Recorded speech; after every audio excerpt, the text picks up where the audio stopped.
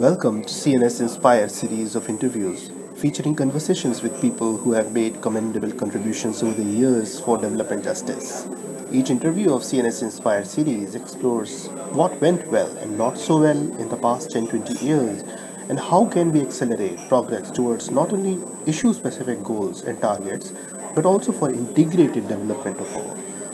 This CNS Inspired episode features a very special guest, Dr. Jim McDermott, who is not only a noted US congressman serving since 1989, but also a very well known public health figure. He received a special award from AIDS Society of India in Mumbai at the 9th National Conference of AIDS Society of India and was in conversation with CNS Managing Editor Shobha Shukla. Without any further delay, let's listen to what Dr. Jim McDermott shares with Shobha. At that point in the United States, no one was interested in AIDS because it was considered a gay man's disease. It's a sexual disease, and that's very difficult for people to talk about openly. We have turned this disease, when I started, it was a death sentence. When a woman gets pregnant, she should be tested immediately, and you should know her status. Sex trade is a reality in every country. With the advent of ART, antiretroviral treatment, you have turned it from a death sentence into a chronic disease. The cost to a society of the epidemic is very high, not only in human terms, but in, in economic terms. It is a medical illness. It's not some kind of sin. I'm a physician who got into the United States Congress in 1989. Uh, prior to that, I had been a state legislator, so I'd been down at the state parliamentary level. And then I was with the State Department in Africa, uh, in, in the Congo, uh, in 87, 88. So I saw the epidemic at the very beginning. And I've been involved in trying to deal with it since that point. And there is tremendous resistance in the society around the world. It isn't just in India, it's everywhere. To being open about what this disease is. It's a sexual disease, and that's very difficult for people to talk about openly. They go around and they try and hide what they're really talking about. But you have to say, every year there are millions of young Indians who become sexually active and they don't know anything. They're just uh, driven by their emotions. And the first thing that you have to do in, in any society is going to be to educate your young people about sexual activity and how this disease is transmitted. It's transmitted almost exclusively by sexual activity. There's drug use and a few other things, but the real way is through mostly through sexual activity. And young people have to know that. And they have to know that they have to practice safe sex, which is meaning using condoms most of the time, unless it's with someone with whom they want to have a baby. And if they want to have a family, then they stop using a condom. But otherwise, you don't know. And the thing that's important for young people to know is that sometimes people lie. They say, Oh, I've never had sex with anybody. You're the first person well, it's a lie. And so if you trust that to prove that you don't have to worry in this instance, you will you're very likely to contract AIDS. So education is the biggest problem. And we tend to think, well, we educated them last year, so what do we have to there's a whole new group coming. And next year there'll be another whole new group coming. And and governments don't have a hard time continuing to feel like they have to educate every year. The second one would be uh, at the time of pregnancy. When a woman gets pregnant, she should be tested immediately and you should know her status so that you can treat her and you can treat the baby at the time of the birth of the child so that you don't have the disease transferred at the time of birth. You could have a perfectly fine baby and then because of the way the birth occurs, they, there's no treatment and, and the baby gets it. So mother to child transmission, I think, is the first place. Now, the third place is the whole question of uh, dealing with the sex trade, and and sex trade is a reality in every country. It's a reality in India. It's a reality everywhere. It's nobody's any different. They all say they have a religion that says it's not proper, and we have laws it's not proper, and so forth. But it goes on. So you have to confront that directly, and begin to deal with testing the uh, prostitutes and the sex workers, whether it's male or female. And you have to say, uh, we're going to have to teach you how to have, you can maybe conduct your trade, but you have to demand a condom in your use with whoever, whoever you're seeing. Uh, the customer may not want to use a custom a condom. He may have had too much to drink and wants to just go ahead and do whatever. That you have to have the, the sex workers aware of that. Um, the third, the fourth thing, I guess I would say,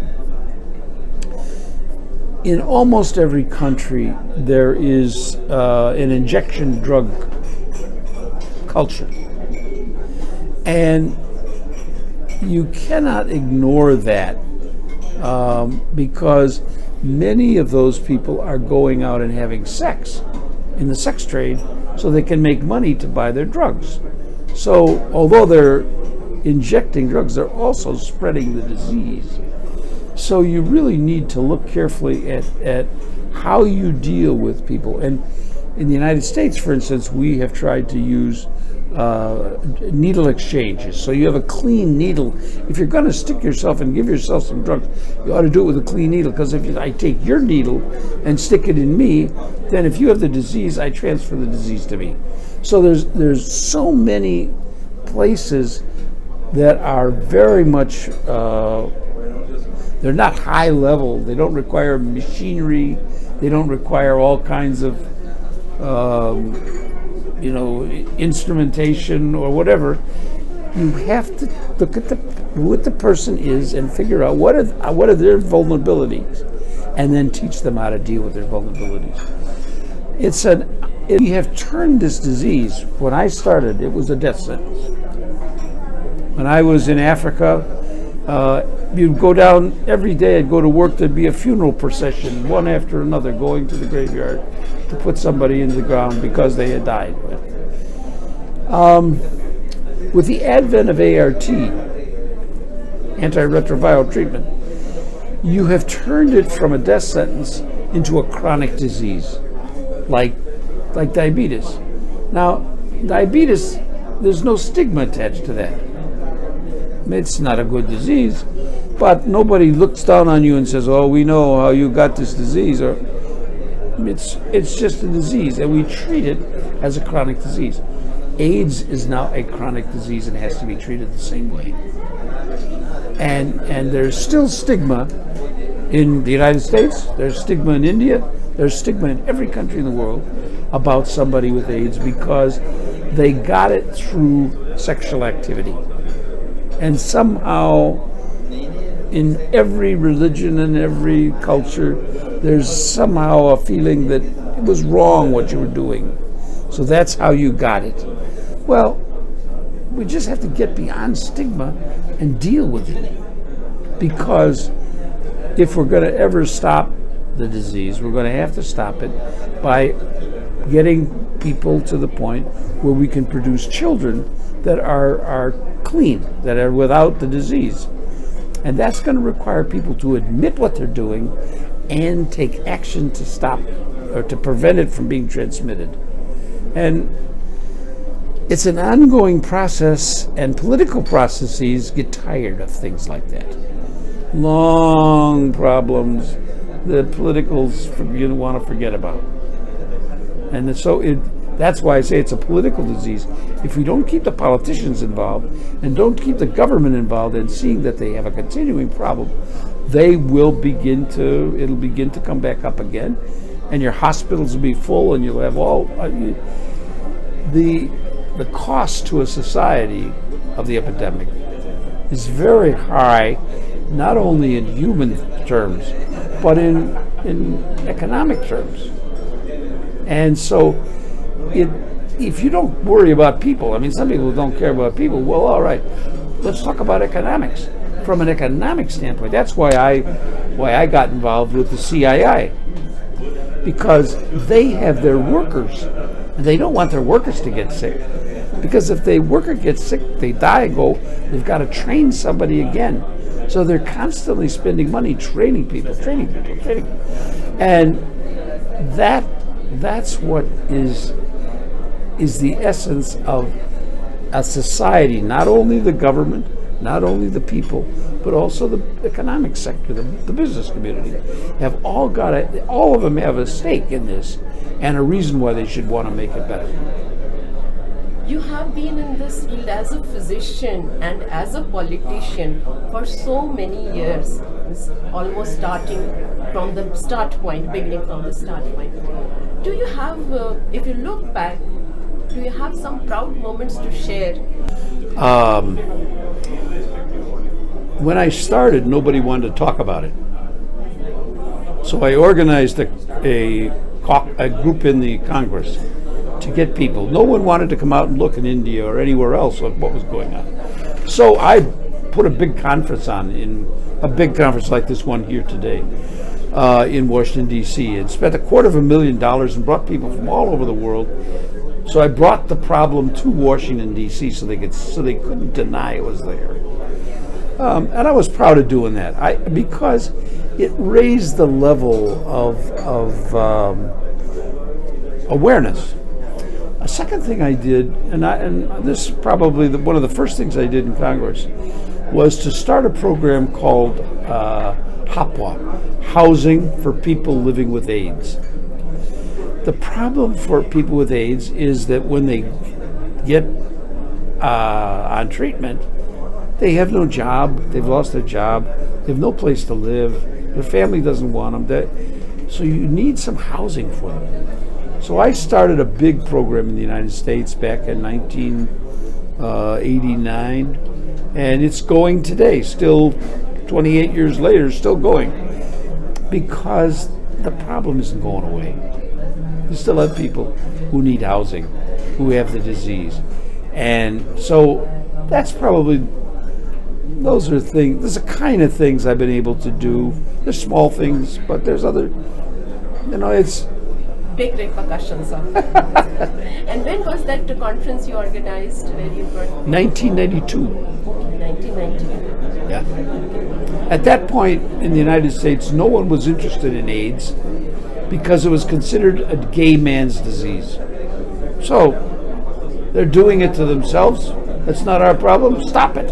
And we won't have. They didn't realize that out in the rest of the world, it was men and women, and and not gay people at all. Mostly not gay. Mostly regular, ordinary folks. So it was. It took a lot of education to get them to see that what was going on in India and Africa and South America was coming to the United States. It took a few years, but that's what the conference was about. From, from your rich experience, any top three learnings you would like to share with the new entrants in the field? Maybe the politicians also and physicians for HIV.